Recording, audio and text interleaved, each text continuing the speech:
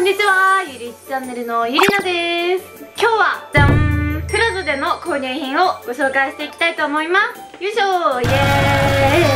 ーイ。今ねプラザではラストピンクイットっていうのかな。とにかくねピンクのフェアをやっていてプラザの前を通りかかったらねもう可愛いピンクがたくさんあったのでピンク好きは行くしかないと思ってね行ったらピンク以外にも他にもね欲しかった日常品などいろいろ売っていたのでそうねいっぱい買ってしまったので今日はね購入品動画を撮っていきたいと思います。ぜひぜひ最後まで見てくださると嬉しいです。それではレッツゴーではねまず1つ目。恒例の何にしよっかななんだけどコスメとか日用品とか文房具系とかもねたくさん買ったんですけど。えー、今回は悩むな。じゃあねコスメから紹介していきたいと思います。まず1つ目に買ったものはじゃーんこちらのビメルテッドニュアンスクリーミーライナーニュアンスブラウンというカラーですこのモデルさんが使用しているのを見て春は抜け感のあるようなねメイクがしたいなと思ったのでこれを買ってみました。おなんかね開けてみるとこういうペンのタイプになっていてこういう押すタイプでペン先もね筆みたいな感じになっています。書いてみた感じちょっとねぼやけるので抜け感が出てねすごい可愛いと思います。これからねこれで毎日メイクしていきたいと思います。続いて2つ目に買ったものはじゃーんこちらの D アップファンデーションションのナチュラルピンクというカラーのポリッシュを買いました。チュルンとしたねピンクで。春らしくてね可愛いカラーだなと思ったので買ってみました。これねアットコスメでも第1位みたいです。ジェルネイルとかがねできない方とかはお休みの日とかねこういうものでネイルするだけでも自分的にもね気分が上がるし細かいところからね女子力を上げていくのもいいと思います。私も足の指はネイルしていないので塗りたいなと思います。続いて3つ目に買ったものはじゃーん。ロージーローザのジェリータッチスポンジです。これはハウス型のねこういうやつがロック貼ったものを買いました。いろんな美容系の YouTuber さんがおすすめしていて一回使ってみたいなと思っていてやっとね変えたってやつですよ。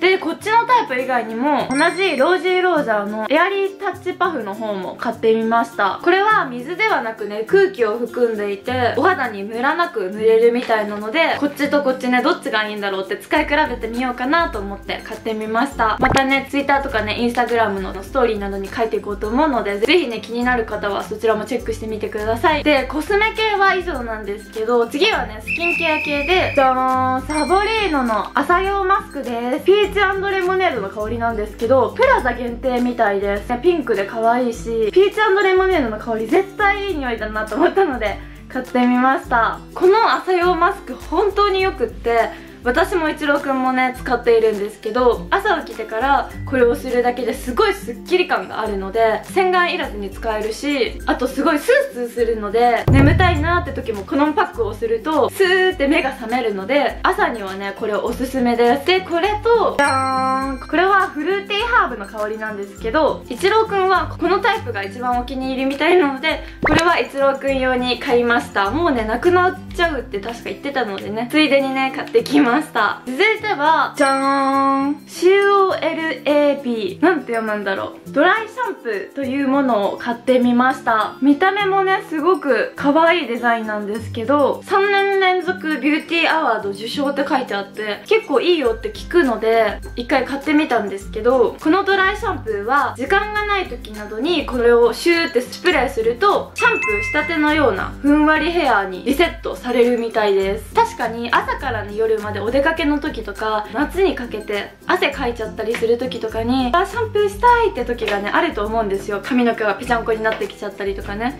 そういう時にこれをかけるだけで洗いたてのようになるんだったらすごくいいなと思ったのとあとね他の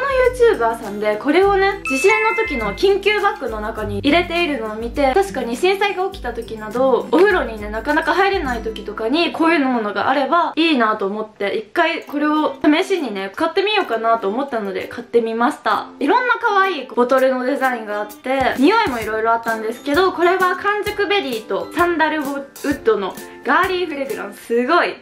凝った名前。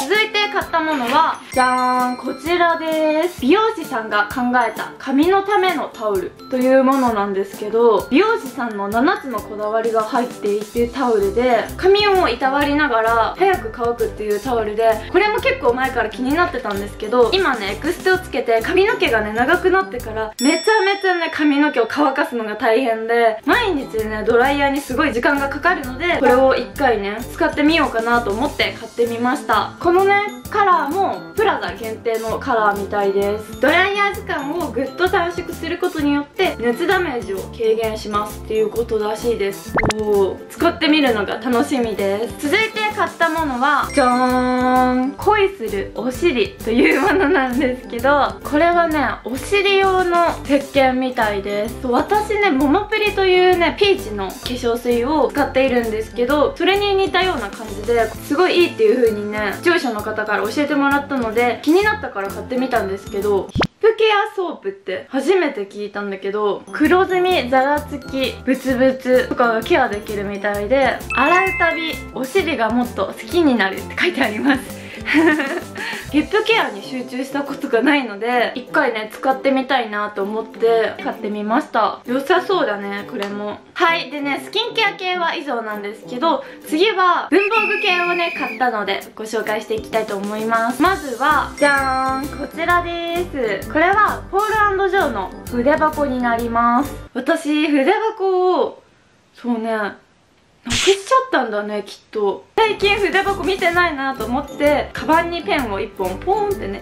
入れちゃってちょっとそういうのダメだなと思ってね。カバンから1本ペン出してきたらびっくりされちゃうじゃないですか。だからちゃんと筆箱持とうって思ってちょっと大人っぽいね大人でも使えるような筆箱を買ってみました。ポーランド状なのでねすごくデザインもね可愛いしコンパクトなサイズなのでカバンに入れててもね邪魔にならないかなと思って買いました。せっかくね可愛いお財布を買ったということでじゃーんこちらのペンを買いました。これねなんかダイヤみたいなのがついててねこのペン可愛いなと思ったのでこういう可愛いペンとか持ってるとねテンションやっぱ上がりますねこの年でも。しっかりとね持ち歩きたいと思います。で今ね見てたらちょっと紹介し忘れてた、ね、コスメが一つ出てきたんですけどじゃーんこちらです。これはレブロンのキスシュガースクラブというものでリップバームになっています。角質ケアと潤い保湿ができるみたいでツルルンなリップになるみたいです。これも実は一郎くんにあげようと思って買ったもので季節の変わり目ってすごいね唇が乾燥しちゃって皮がむけてきたりとかしてね